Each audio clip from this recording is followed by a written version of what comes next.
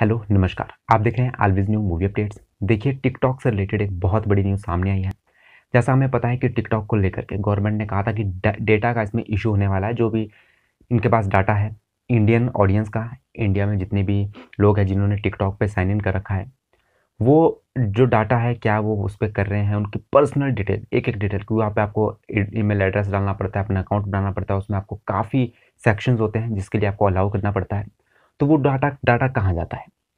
पहले तो टिकटॉक ने कहा था, इंडिया टिकटॉक इंडिया ने कि हम किसी को भी नहीं बेचते, डाटा डाटा हमारे ही पास रहता है। लेकिन अब पता चला है कि ये जो डाटा है, ये स्टोर होता है। साथ ही साथ एक और बड़ी न्यूज़ जो पता चली वो ये है कि टिकटॉक जो है, इन्वेस्ट करना चाहता था वन बिलियन डॉलर और इंडिया में, क्योंकि इंडिया में इसके जो है सबसे ज़्यादा इंडिया में जो है बहुत ज़्यादा यूज़र है, आप कह सकते हैं, यूएसए में, इंडिया में, ये ऐसी कंट्रीज़ है जहाँ पर टिकटॉक के बहुत ही ज़्यादा यूज़र्स हैं।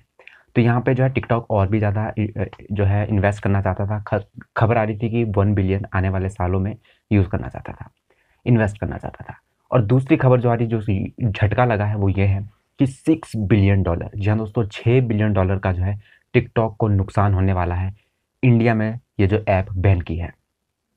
तो अभी तक हमें सिर्फ़ एक चीज़ देखने को मिली था, आपको पता है, काफ़ी लोग कह रहे थे, कुछ फ़र्क नहीं पड़ता हमें जो है, हम अगर बंद भी कर देंगे, तब भी थोड़ा सा ही चीन को फ़र्क पड़ेगा, ज़्यादा फ़र्क नहीं पड़ेगा।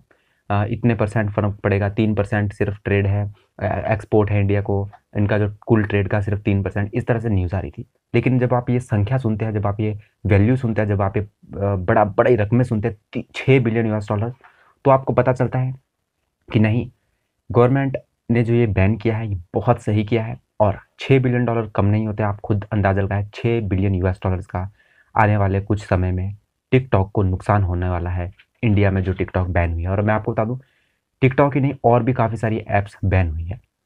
तो ये है बड़ी न्यूज़ सिंगापुर में जो है इसका डाटा स्टोर होता है इन्वेस्ट और इन्वेस्ट करने की बात कर रहा था टिकटॉक लेकिन उससे पहले ही जो है टिकटॉक को बैन कर दिया गया और कम से कम छः बिलियन के आसपास इसे नुकसान होने वाला है छः बिलियन डॉलर्स का।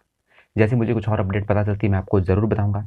आपको क्या कहना कमेंट बॉक्स में लिख के ज़रूर बताएँ। इसी तरह से लेटेस्ट अपडेट जानने के लिए सब्सक्राइब ज़रूर करें। बेल आइकन को प्रेस करना मत भूलें। मिलते हैं नेक्स्ट वीडियो में। तब तक के लिए धन्यवाद।